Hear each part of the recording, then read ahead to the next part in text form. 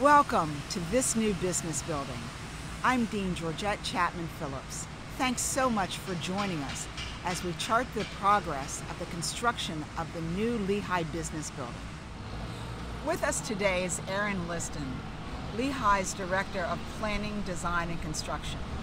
Welcome, Erin. Thanks, Georgette. Today we're talking concrete.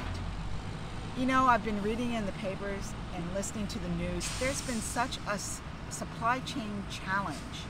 How hard is it to get concrete?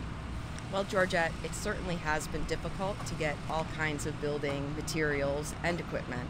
The supply chain's been very, very difficult. It's a trying economy right now, um, not only related to COVID, but due to some of the storms that uh, occurred in Oh, Texas yes, a few months back. Right, right.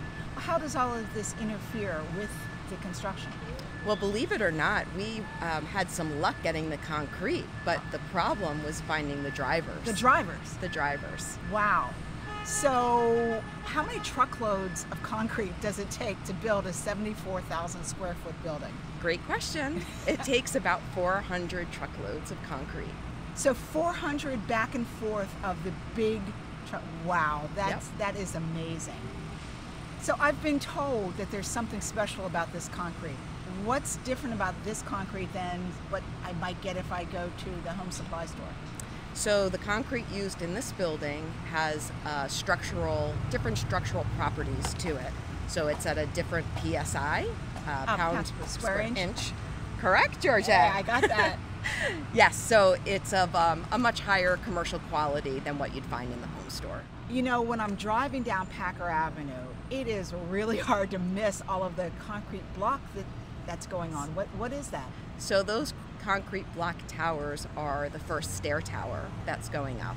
And we Oh. have another one uh, at the east end that will be built next. But Oh, they're giving us a good sense of the height of the building. Oh yes, I, I so the there's one there, and the next thing that we will see on site will be the East Tower. Correct. And what comes after that? Steel.